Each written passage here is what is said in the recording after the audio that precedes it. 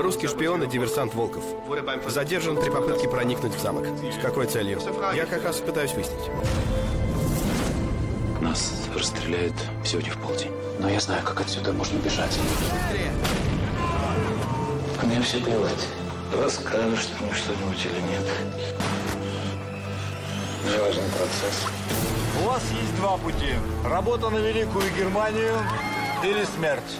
На раз, два, три. Раз. Два. Значит, ты не работаешь на улице?